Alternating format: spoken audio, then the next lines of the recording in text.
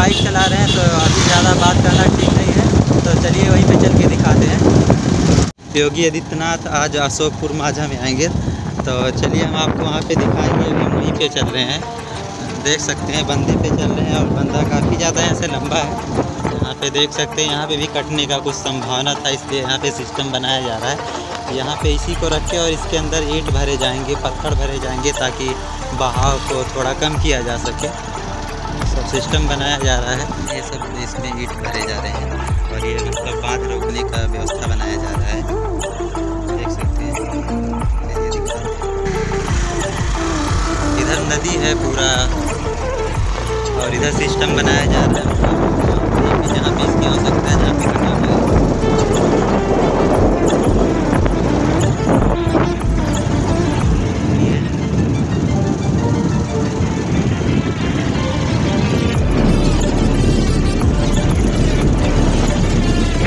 नदी में वैसे तो हम भी पहली बार इतना पानी देख रहे हैं कि बाढ़ आने के कागार पे से बंदा कट जाता है तो काफ़ी ज़्यादा वैसे भी बंदे के उधर काफ़ी ज़्यादा गाँव थे।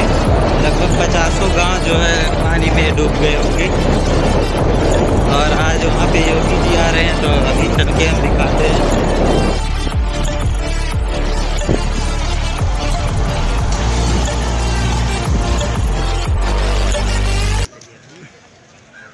तो फाइनली फ्रेंड लगभग 10 किलोमीटर का दूरी तय करने के बाद हम वहाँ पे पहुँच चुके हैं, जहाँ पे अभी कुछ ही देर में योगी आदित्यनाथ आने वाले हैं, जो उत्तर प्रदेश के सीएम हैं। और आप इस साइड में देख सकते हैं, जहाँ पे स्टेज लगा हुआ है। और स्टेज के ठीक बगल में एक ग्राउंड बनाया गया है, जहाँ पे हेलीकॉप्टर आएगा। लेकिन इधर से नहीं दिखेगा तो अभी हम आपको चल के दिखाते हैं। दोस्तों अभी हम वहाँ पे चल रहे हैं जहाँ पे अभी कुछ ही देर में हेलीकॉप्टर से योगी आदित्यनाथ आने वाले हैं तो चलिए वहाँ पे चल के दिखाते हैं आपको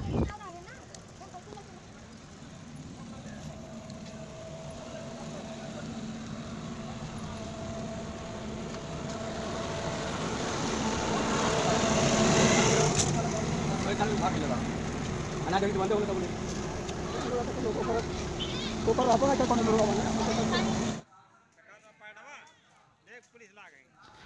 हम ग्राउंड में पहुँच चुके हैं, जहाँ पे अभी कुछ ही देर में योगी आदित्यनाथ हेलीकॉप्टर से आने वाले हैं।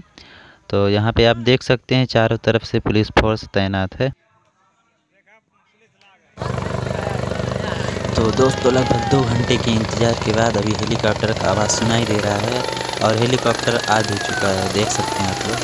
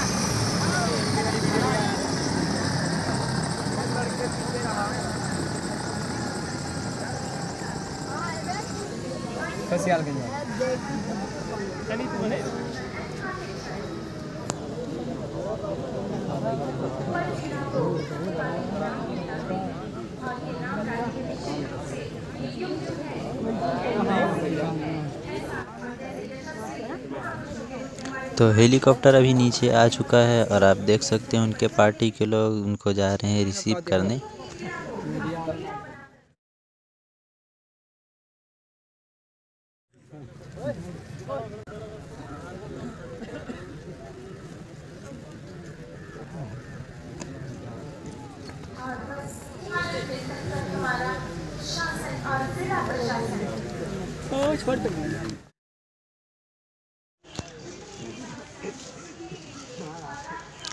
तो अभी पब्लिक के बीच में जा रहे हैं, हम भी चलते हैं पब्लिक के बीच में, और वहाँ से कोशिश करेंगे कि आपको सामने से दिखाएँ। तो चलिए देखते हैं कि वहाँ पे जाने देंगे या नहीं जाने देंगे। कोशिश करेंगे वैसे आप लोगों को दिखाने का कभी नहीं देखा तो गए गए पंजाब गए चलो चला आप लोग बंद ना यार अरे यार तो वहाँ से पब्लिक के बीच में आते आते लगभग एक से दो मिनट का जो योगी आदित्यनाथ का भाषण था ख़त्म हो चुका है और मुश्किल से यहाँ पे वो पाँच मिनट रुके होंगे। और दो मिनट के भाषण में उन्होंने यही सब बताया जो राशन वासन यहाँ पे आके बांटे हैं। जैसा कि आप देख सकते हैं यहाँ पे राशन रखा हुआ है और यही सब राशन वासन बांट के रेखपाल द्वारा जो राशन बांटा गया। तो जहाँ पर हेलीकॉप्टर उतरा था ठीक यहाँ से कुछ दूरी पे सरयू नदी है जहाँ पर बाढ़ आया हुआ है तो उसी का दौरा करने सीएम योगी आदित्यनाथ आए हुए थे। तो अभी यहाँ से निकलेंगे निक, तो जैसा कि आप लोग देख सकते हैं अभी हेलीकॉप्टर पे बैठने जा रहे हैं। उसके बाद में सरयू नदी का दौरा करते हुए बाढ़ वाले क्षेत्र को देखते हुए यहाँ से निकल जाएँगे।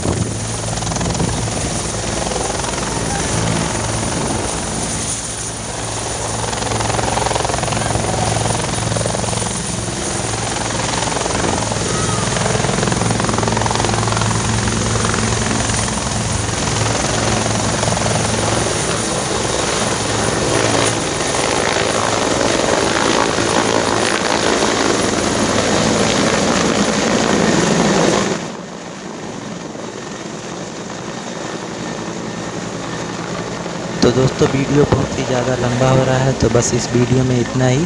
और वीडियो के सेकंड पार्ट में हम सरयू नदी पे चलेंगे, जहाँ पे बाढ़